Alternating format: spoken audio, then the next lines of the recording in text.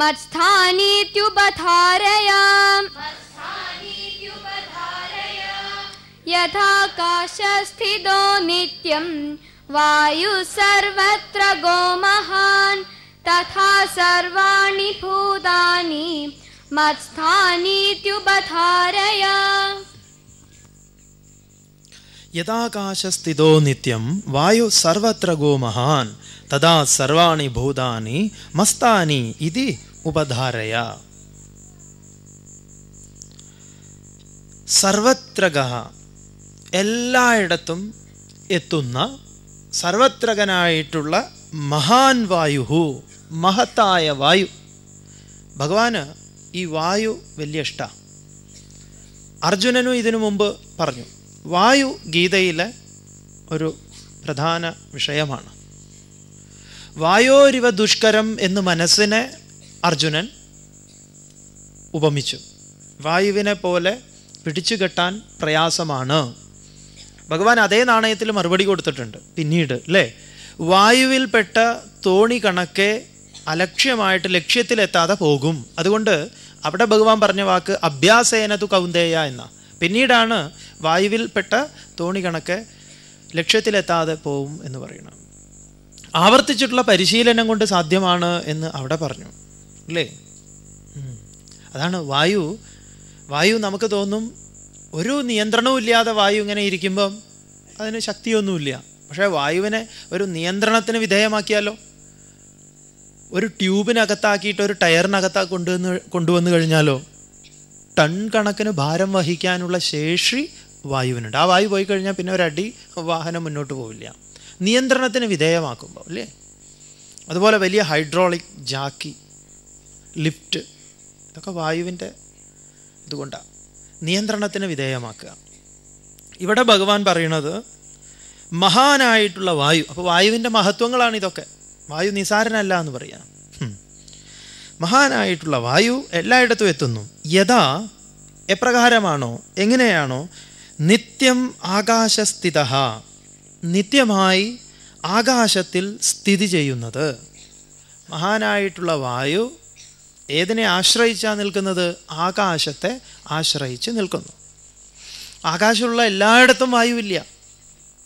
വായുവില്ലാത്ത സ്ഥലങ്ങളുണ്ട്.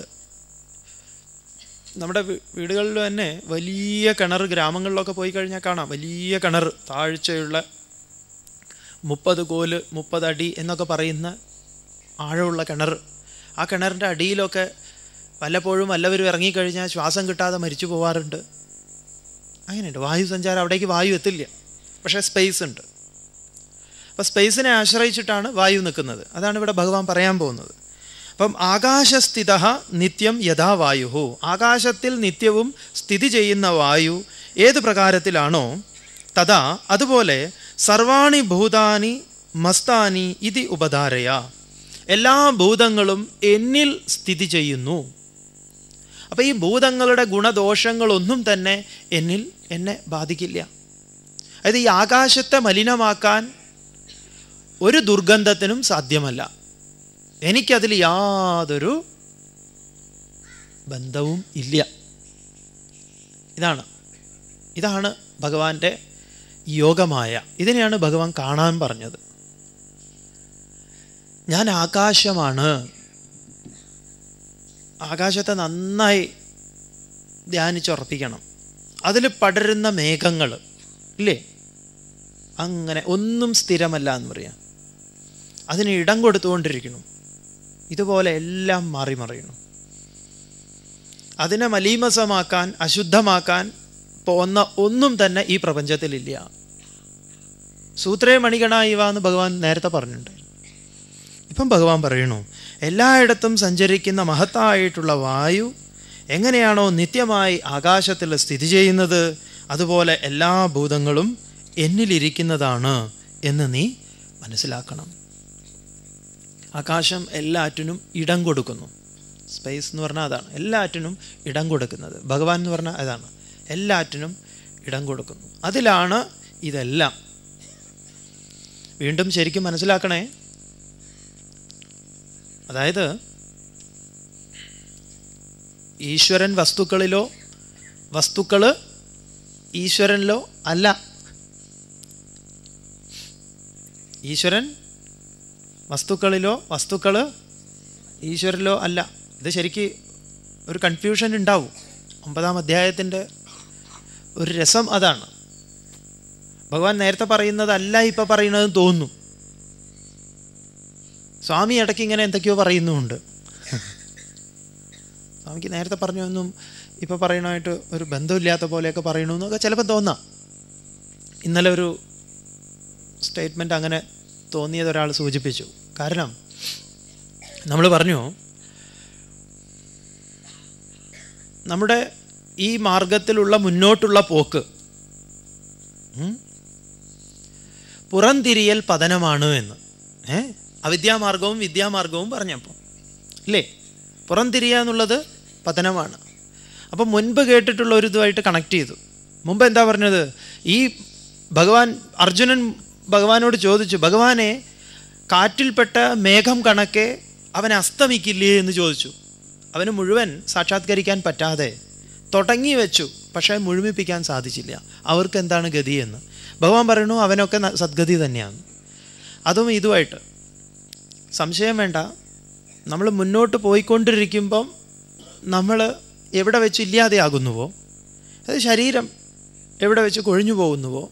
അതുവരെയുള്ളത് ക്ഷേമം തന്നെയാണ് ശരീരത്തോടുകൂടി ഇരിക്കെ ഇതൊക്കെ അറിഞ്ഞു മതി പോട്ടെ എന്നും പറഞ്ഞ് തിരിഞ്ഞ് പിന്നെയുള്ള പോക്കുണ്ടല്ലോ. അതാണ് പതനം എന്ന് പറഞ്ഞത്. ശരിക്കും മനസ്സിലാക്കണം. മറ്റേത് ശരീരത്തിന്റെ നാശം. പക്ഷേ ഇത് കുറച്ചു കാലം ഈ മാർഗത്തിൽ വന്നു. മാർഗത്തിൽ വരിക എന്ന് പറഞ്ഞാൽ ഇതൊക്കെ ബുദ്ധിയായിട്ട് മനസ്സിൽ മനനം ചെയ്തു. ചെയ്തു കഴിഞ്ഞപ്പം ശരിയാണ് എന്ന് തോന്നി. പിന്നെ എന്തൊക്കെയോ പ്രബലമായിട്ടുള്ള ചില വാസനകൾ നിമിത്തം ഇതിനെയൊക്കെ പൂർണമായിട്ട് ഉപേക്ഷിച്ചിട്ടുള്ള പിന്നീടുള്ള യാത്ര അത് പതനമാണ്. അത് പഴയതിനേക്കാൾ ദോഷമാണ്. കാരണം പണ്ട് ഇതൊന്നും അറിയില്ലായിരുന്നു. അതുകൊണ്ട് വലിയ കുഴപ്പമൊന്നുമില്ലായിരുന്നു. ഇപ്പോൾ ഉള്ളിൽ ഇതും കൂടെ കയറി. അപ്പോൾ ആകെ കൂടെ കൺഫ്യൂഷനാവും അതുകൊണ്ടാണ് പറഞ്ഞത് പുറംതിരിയൽ പതനം എന്ന്. ഇതുപോലെ ഇവിടെ ഭഗവാൻ നേരത്തെ പറഞ്ഞു എല്ലാം എന്നിലാണ് ഞാൻ അതിലില്ല. വീണ്ടും ഭഗവാൻ അതിനൊരു ഉദാഹരണം ഉദാഹരിച്ചു. എന്താണ്? ഏത് പ്രകാരത്തിലാണോ ആകാശത്തിൽ വായു സഞ്ചരിക്കുന്നത്. വായു എന്ന് പറഞ്ഞാൽ വായുവിന്റേതായിട്ടുള്ള യാതൊരു ദുർഗുണങ്ങളും. ദുർഗുണം എന്ന് പറഞ്ഞാൽ നമുക്ക് നമ്മൾ ആരോപിക്കണ സുഗന്ധമെന്നോ ദുർഗന്ധമെന്നോ ഒന്നും തന്നെ ആകാശത്തെ മലിനപ്പെടുത്തുന്നില്ല. ആകാശം ഇതിന് ഇടം കൊടുക്കുക മാത്രമാണ് ചെയ്യുന്നത്. ഇവിടെ നമ്മൾ പറഞ്ഞ ഒരു കാര്യം ഈശ്വരൻ എന്നത് ഒന്നാമത്തെ പ്രശ്നം എന്താണെന്നറിയോ? ഈ ഈശ്വരൻ എന്നുള്ള വാക്കിൽ നമ്മൾ നിലനിൽക്കാതിരിക്കുക. ബസ്. എന്നാൽ തന്നെ രക്ഷപ്പെട്ടു. ഈശ്വരൻ എന്നുള്ള പദത്തെ നമ്മൾ ഉപേക്ഷിക്കുക. ഏ?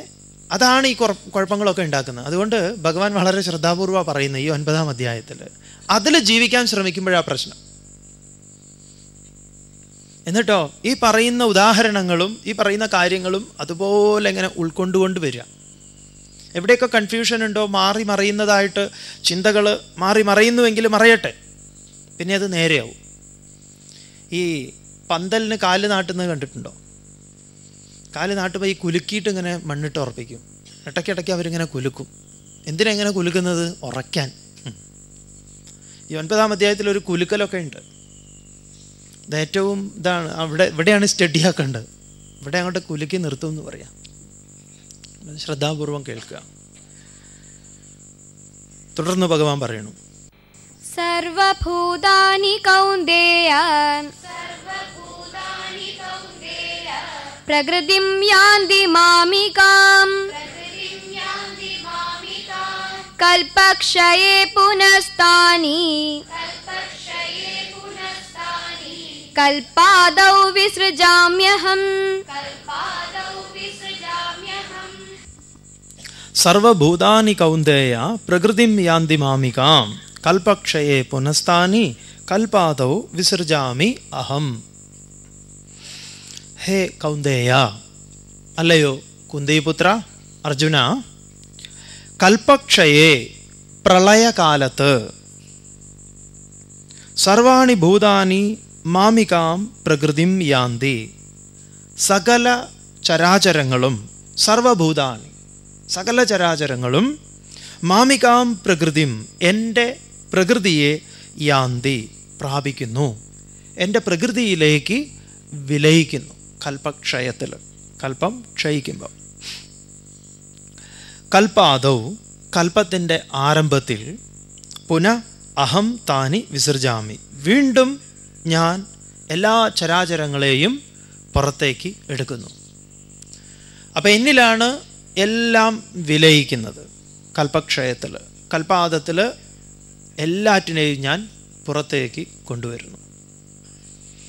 ഉപനിഷത്തിൽ എങ്ങനെയാണ് വിശ്വം ഭഗവാൻ സൃഷ്ടിക്കുന്നത് എന്ന് ഒരു ഉപനിഷത്തിൽ പറയണു യഥാ ഊർണനാഭി സൃജതേ ഗൃഹണതേച്ച എങ്ങനെയാണോ എട്ടുകാലി ഊർണനാഭി എന്ന് പറഞ്ഞാൽ എട്ടുകാലി എട്ടുകാലി എട്ടുകാലിയുടെ വല നെയ്യുന്നത് സൃജതേ വല നെയ്യുന്നത് ഗൃഹണതയെ ഉപസംഹരിക്കുന്നത്.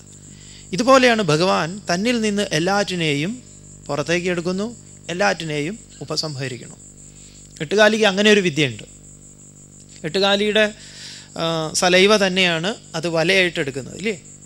അതങ്ങനെ ഈ സർക്കസിലൊക്കെ ജോക്കർ ഇറങ്ങുന്നത് പോലെ ഇങ്ങനെ ഇറങ്ങും. പെട്ടെന്ന് ചൂലുമായിട്ട് നമ്മളെ കാണുമ്പോഴേക്ക് അവൻ കയറും. വളരെ ഇതാണ്. നമ്മൾ വടിയായിട്ട് വന്നു കഴിഞ്ഞാൽ അവനറിയാം വേഗം അറിയാം രക്ഷപ്പെടാനുള്ള പഴുതൊക്കെ. തന്നിൽ തന്നെ അതിനെ ഉപസംഹരിക്കാനും അതിൽ നെയ്തെടുക്കാനും. ഇതുപോലെ പ്രപഞ്ചത്തെ ഉണ്ടാക്കി പ്രപഞ്ചത്തെ വിലയിപ്പിക്കണം. സമഷ്ടിയിൽ.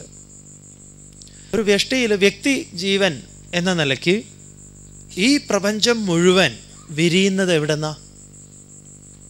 രാവിലെ എഴുന്നേൽക്കുമ്പോൾ ഇതാണ് ബഹളം വെച്ചുകൊണ്ട് എഴുന്നേൽക്കലൊക്കെ നിർത്തിയിട്ട് സാവകാശമൊക്കെ ഒന്ന് എഴുന്നേൽക്കുമ്പോൾ ഇതൊക്കെ വെളിപ്പെട്ട് കിട്ടും. രാവിലെ എഴുന്നേൽക്കുന്നതേ പത്രക്കാരനെ നാല് വഴക്ക് പറയാൻ അല്ലെങ്കിൽ പാൽക്കാരനെ. അതൊക്കെ നിർത്തിയിട്ട് ശാന്തമായിട്ട് എവിടുന്നെങ്കിലും എന്തെങ്കിലും ചെറിയ ശബ്ദങ്ങളൊക്കെ കേൾക്കുന്നുണ്ടാവും. കിളികളുടെയോ പല കോഴിയുടെയോ കോഴിയൊന്നും ഇല്ലെന്ന്. പണ്ടൊക്കെ കോഴി ഉണ്ടായിരുന്നു പണ്ട് നമ്മുടെയൊക്കെ കുട്ടിക്കാലത്ത് കോഴി ഇറച്ചി എന്ന ആളുകൾ പറയാറ്. ഇപ്പം ഇറച്ചി കോഴി എന്നാ പറയണത്? സത്യം. നമ്മൾ നമുക്ക് ഈ അടുത്ത കാലത്ത് പിടികിട്ടിയിട്ടില്ല. എന്താ ഇത് തമ്മിലുള്ള വ്യത്യാസം എന്ന് ഈ കോഴി ഇറച്ചിയും ഇറച്ചി കോഴിയും. ഇപ്പൊ കോഴിയിറച്ചി കഴിക്കുന്നവരില്ല. ഇറച്ചി കോഴിയാ. അതിന് ഇതൊന്നും അറിയില്ല. ശബ്ദം ഉണ്ടാക്കാനൊന്നും അറിയില്ല. രാവിലെ ആയോന്ന് അറിയില്ല രാത്രി ആയോന്ന് അറിയില്ല കാരണം അങ്ങനെ അത് കഴിയണത്. ആ കോഴിയുടെയൊക്കെ ഒരു ലോകം വല്ലാത്തൊരു ലോകാട്ടോ. അപ്പോൾ കോഴികളുടെ കൂവൽ പക്ഷികളുടെ ശബ്ദം ഇതൊക്കെ കേൾക്കുമ്പം ആ ഈ പ്രപഞ്ചം പൊട്ടി വിടരുന്നത് എവിടെയാണ്? എവിടെയാണ് ആദ്യം തന്നെ ഉണ്ടാവുന്നത്? ആദ്യ ചിന്ത എന്താണ്? ഓ രാവിലെയായി അല്ലേ? ഓരോന്നിനെയും നിരീക്ഷിക്കുക. ഇതിങ്ങനെ ടക്ക് ടക്ക് ടക്ക് ടക്ക് എന്ന് പറഞ്ഞിട്ട് ആ പൊട്ടി ഇങ്ങനെ വിട്ടർന്ന് പെട്ടെന്നാണ് സെക്കൻഡുകളെ കൊണ്ട് ഞാൻ ഇന്ന ആളാണ് ഇന്ന് ഇന്ന് ഉദ്യോഗസ്ഥയാണ് ഉദ്യോഗസ്ഥനാണ് അയ്യോ ഇന്ന് ഒന്നാം തീയതിയാണ് അഞ്ചാം തീയതിയാണ് ആറാം തീയതിയാണ് ഓ ഇന്ന് ശമ്പളം കിട്ടും. അല്ലെങ്കിൽ ഇന്ന ആൾക്ക് കൊടുക്കണം ഇന്ന ആളോട് വാക്ക് പറഞ്ഞത് ഇവിടെയാണ് ഓ ഇന്ന് ഇവിടെ പോകണം ദേശവും കാലവും എല്ലാം എവിടെയാണ് ഇതൊക്കെ? ഇതൊക്കെ ഒന്ന് വിലയിക്കുന്നത് എങ്ങനെയാ? ഉപനിഷത്തിൽ മനോഹരമായിട്ട് പറയുന്നുണ്ട്. ഇതിനെ വിലയിക്കുന്നത്. ഇതിനു മുമ്പ് നിങ്ങളോട് പറഞ്ഞതാണ്. യഥാ ശകുനി സൂത്രേണ പ്രബദ്ധ ദിശം ദിശം പതിത്വ അന്യത്ര ആയതനമലബ്ധ്വ ബന്ധനമേവ ഉപാശ്രയേത്. ഉപനിഷത്തിൽ പറയുന്നു കെട്ടിയിട്ട കിളി എങ്ങനെയാണ് ഓരോ ദിക്കിലേക്കും പറന്നിട്ട് ആശ്രയം കിട്ടാതെ കെട്ടിയിട്ട കൊമ്പിനെ വന്ന് ആശ്രയിക്കുന്നത്?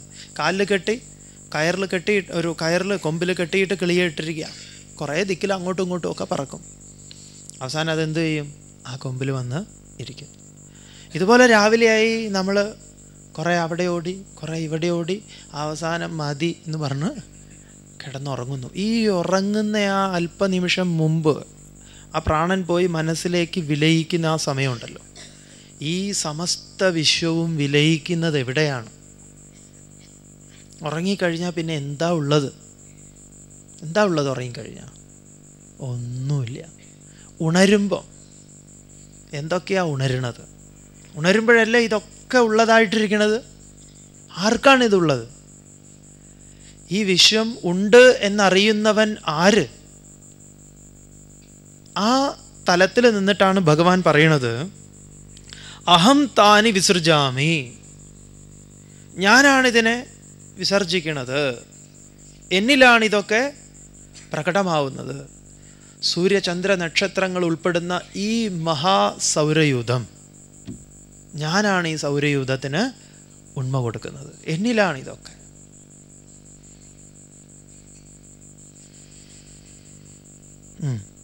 പ്രകൃതിം സ്വാമവഷ്ടഭ്യ. വിസൃജാമി പുനഃ പുനഃ.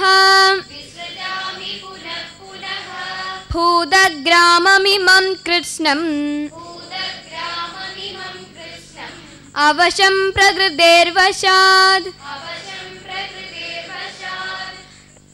പ്രകൃതിം സ്വാം അവഷ്ടഭ്യ വിസൃജാമി പുനഃ പുനഃ ഭൂതഗ്രാമം ഇമം കൃത്സ്നം അവശം പ്രകൃതേഹേ വശാത് സ്വാം പ്രകൃതിം അവഷ്ടഭ്യ സ്വാം സ്വന്തമായിട്ടുള്ള പ്രകൃതിം പ്രകൃതിയെ അവഷ്ടഭ്യ സ്വീകരിച്ചിട്ട് താൻ തന്റെ സ്വപ്രകൃതിയെ സ്വീകരിച്ചിട്ട് പ്രകൃതേഹേ വശാത് പ്രകൃതിക്ക് വശമായിക്കൊണ്ട് ഇമം ഭൂതഗ്രാമം കൃത്സ്നം. ഈ ഭൂതസമൂഹത്തെ എല്ലാ പ്രപഞ്ച ഘടകങ്ങളെയും മുഴുവൻ തന്നെ പുനഃ പുനഃ വിസർജാമി. ഞാൻ വീണ്ടും വീണ്ടും സൃഷ്ടിക്കുന്നു. അതുകൊണ്ട് പുരാണത്തിലൊക്കെ വിശ്വാമിത്രൻ ത്രിശങ്കുവിന് ഒരു ലോകത്തെ തന്നെ സൃഷ്ടിച്ചു കൊടുക്കുന്നുണ്ട്. അല്ലേ തന്റെ യോഗശക്തി കൊണ്ട്. ഇതൊക്കെ ഈ ഇതാണ്. നമുക്ക് ഏത് ലോകം വേണമെങ്കിൽ സൃഷ്ടിക്കാം. നമ്മളൊക്കെ വിശ്വാമിത്രന്റെ വിശ്വാമിത്രനാണ്. എന്തൊക്കെ ലോകങ്ങൾ സൃഷ്ടിച്ചിട്ടാണ് നമ്മൾ അതിലൊക്കെ വിരാജിക്കുന്നത് പലർക്കും എന്തൊക്കെ ലോകങ്ങളാണ് നമ്മൾ കൊടുക്കുന്നത്? ഇല്ലേ? പരസ്യം എന്ന് പറഞ്ഞാൽ വിശ്വാമിത്രന്മാരാണ്. വിശ്വാമിത്രന്റെ ലോകത്തിന് വേറെ പല ഗുണങ്ങളും ഉണ്ട് വിശ്വത്തിന് മിത്രമായിട്ടുള്ളവനാണ് വിശ്വാമിത്രൻ. അങ്ങനെയുള്ള ആൾ സൃഷ്ടിക്കുന്ന ലോകത്തിന് കുഴപ്പമൊന്നും ഉണ്ടാവില്ല. ഇത് സുന്ദര ലോകങ്ങൾ ഉണ്ട്. നൂറ് രൂപയ്ക്ക് മാരുതി കാറ് ഏ? ഇല്ലേ? നൂറ് ഒപ്പിടണം. നൂറ് സർട്ടിഫിക്കറ്റ് കൊണ്ടുപോയിട്ട് അവിടെ ഹാജരാക്കണം. പിന്നെ കുടുങ്ങി എന്താ എടുത്താൽ അത് പെട്ടത് തന്നെ നമ്മൾ ഇങ്ങനെ പല മായിക മാസ്മരിക ലോകങ്ങൾ ഈ ഭൂമണ്ഡലത്തിലുണ്ട്. അപ്പൊ ഭഗവാൻ പറയുന്നു ഇവിടെ എന്താണ്? ഞാൻ വീണ്ടും വീണ്ടും ഈ ലോകങ്ങളെ സൃഷ്ടിക്കുന്നു. നമ്മളും ഓരോ ലോകത്തെയും സൃഷ്ടിക്കുന്നുണ്ട്. നമ്മൾ തന്നെ സൃഷ്ടിക്കുന്ന ലോകത്തെ ആദ്യം നമുക്ക് നോക്കാം. ഇതൊക്കെ ലോകങ്ങൾ നമ്മൾ സൃഷ്ടിക്കുന്നുണ്ട്. അപ്പം ഒരു വ്യഷ്ടി സമഷ്ടി. സമഷ്ടിയായിട്ടിരിക്കുന്നത് തന്നെയാണ് ഇതിൽ നിന്ന് അങ്ങോട്ടും ഇങ്ങോട്ടും ഇടയ്ക്കിടയ്ക്ക് ഭഗവാൻ നമ്മളെ കയറ്റി കൊണ്ടുപോവുക. നോക്കാം. ഇതിന്റെ തുടർന്നുള്ള ശ്ലോകങ്ങളൊക്കെ ഇതുമായിട്ട് ബന്ധപ്പെട്ടതാണ്. ഇതിന്റെ ഏകദേശം മധ്യത്തിലെത്തുമ്പം ആദ്യം മുതൽ പറഞ്ഞിട്ടുള്ളതൊക്കെ നമുക്ക് ബോധ്യവും. മാം താനി കർമാണി. നിബത്നന്തി ധനഞ്ജയ. ഉദാസീനവദാസീനം. असक्तं तेषु कर्मसु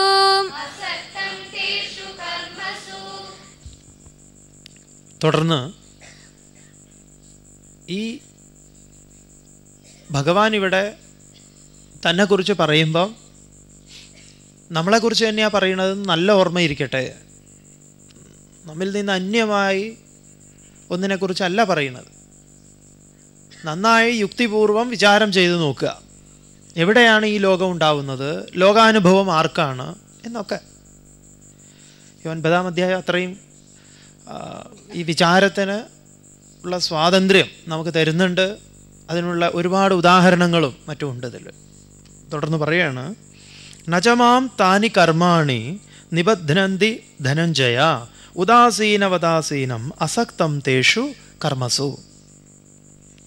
ഇതാണ് ഭഗവാന് ഊന്നി ഊന്നി പറയാനുള്ളത് പല ഭാഷയിൽ പല രീതിയിൽ ഭഗവാൻ പറയുന്നു. പല ഭാവത്തോട് കൂടിയിട്ട്. ഹേ ധനഞ്ജയ അല്ലയോ അർജുന തേഷു കർമ്മസു ഈ കർമ്മങ്ങളിൽ ഏത് കർമ്മങ്ങളിൽ? ഈ ഉണ്ടാവലിലും ഇല്ലാതെയാവലിലും ഈ പറഞ്ഞ എല്ലാ ചലനങ്ങളിലും തേഷു കർമ്മസു അസക്തം ഉദാസീനവത് അസക്തം ശക്തി ഇല്ലാത്തവനായിട്ട് ഒരല്പം പോലും ബന്ധനം ഇല്ലാത്തവനായിട്ട് ഉദാസീനവത് ഉദാസീനനെ പോലെ ആസീനം ആസീനം എന്ന് പറഞ്ഞാൽ ഇരിക്കുന്ന മാം എന്നെ. ഇതിലൊന്നും ഒരല്പം പോലും ബന്ധമില്ലാതെ ഉദാസീനനായിട്ടിരിക്കുന്ന എന്നെ താനി കർമാണി ന നിബന്ധനന്തിച്ച ഈ കർമ്മങ്ങളൊന്നും തന്നെ ഒരു തരത്തിലും ബന്ധിക്കുന്നില്ല. ഈ അറിവിലാണ് നമ്മൾ ഇരിക്കേണ്ടത്. നമ്മൾ ഊണ് കഴിക്കാനൊക്കെ താഴെയൊക്കെ ഇരിക്കുമ്പോൾ പലകെട്ടി ഇരിക്കില്ലേ? ഇതുപോലെ ഇതായിരിക്കണം നമ്മുടെ ഇരിപ്പിടം ഈ ശ്ലോകം. ഇവിടെ നടക്കുന്ന എല്ലാ ചലനങ്ങളും എന്തൊക്കെ ചലനങ്ങളാവട്ടെ ഇതൊന്നും നമ്മെ ബന്ധിക്കാൻ പോകുന്നതാവരുത്. നിസാരങ്ങളായിട്ടുള്ള കാര്യങ്ങളിലൊക്കെ നമ്മൾ ബന്ധിതരാകുന്നു. അതുകൊണ്ടാണ് ഭഗവാൻ പറഞ്ഞത് അനസൂയനാവണമെന്ന്.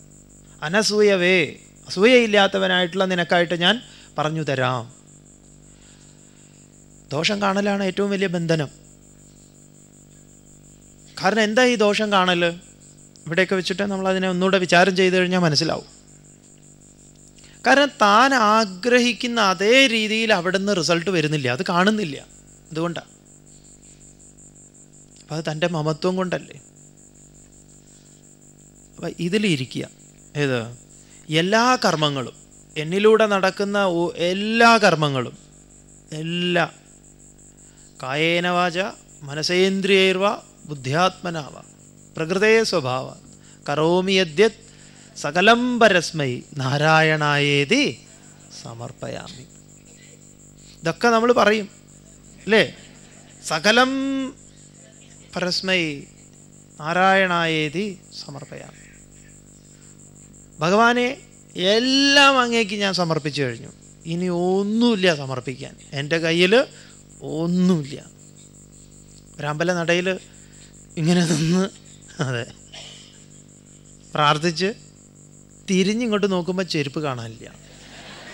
കള്ളന്മാർ എവിടെ നോക്കിയാലും ചെരുപ്പ് പോലും സമർപ്പിച്ചിട്ടില്ല. എന്നിട്ടാണ് സകലം പരസ്മൈ എന്ന് പറഞ്ഞത്. ആത്മാർത്ഥമായിട്ട് ഈ ശ്ലോകം ഒരിക്കലേ ചൊല്ലാൻ പറ്റുള്ളൂ. ഒരിക്കലേ സമർപ്പിക്കാനും പറ്റുള്ളൂ. പത്ത് സെന്റ് ഭൂമി ഉണ്ടെങ്കിൽ അത് ഒരിക്കൽ ദാനം ചെയ്തു. വീണ്ടും ദാനം ചെയ്യാൻ പറ്റുമോ? ദിവസവും ഇങ്ങനെ ദാനം ചെയ്യാൻ പറ്റുമോ? പറ്റില്ല. അതുകൊണ്ട് ഒരിക്കൽ ഇത് ചൊല്ലിക്കഴിഞ്ഞാൽ പിന്നെ എന്തിനാ ആവർത്തിച്ച് ചൊല്ലുന്നത്? നിശബ്ദമായിട്ട് ഇങ്ങനെ ചൊല്ലാൻ വെറുതെ. ഒരിക്കൽ സമർപ്പിച്ച് കഴിഞ്ഞു.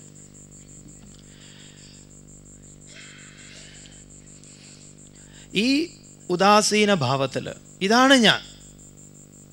എന്നെ ഇതൊന്നും ബന്ധിക്കുന്നതല്ല. എപ്പോഴും രാത്രി രാത്രിയായി കഴിഞ്ഞാൽ ഇതൊന്നും മനനം ചെയ്ത് കിടന്നുറങ്ങുക. ഉറങ്ങാ ഉറങ്ങാൻ പോകുന്നതിന് മുമ്പ് സംഘർഷത്തോടു കൂടി ആവാതിരിക്കട്ടെ. എന്തെങ്കിലുമൊക്കെ സംഘർഷങ്ങൾ അസ്വസ്ഥതകൾ ഉണ്ടാവുന്നുണ്ടെങ്കിൽ ദീർഘമായിട്ട് ഒരു ഒൻപത് പ്രാവശ്യം അല്ലെങ്കിൽ ഒരു അഞ്ച് പ്രാവശ്യം ധാരാളമാണ് പ്രാണനെ ഉള്ളിലേക്ക് എടുത്ത് ഇതൊന്ന് ഓർമ്മിക്കുക ഈ ശ്ലോകങ്ങളൊക്കെ. ശാന്തമായിട്ട് കിടക്കുക. ഇതൊന്നും ഇതുപോലെ എത്രയോ പ്രശ്നങ്ങൾ ഇന്നലകളിൽ ഉണ്ടായിട്ടുണ്ട്. അതൊന്നും വാസ്തവത്തിൽ എന്നെ ബന്ധിച്ചതായിരുന്നില്ല. പിന്നെ എന്തിനാ ഞാൻ ഇന്നതിന്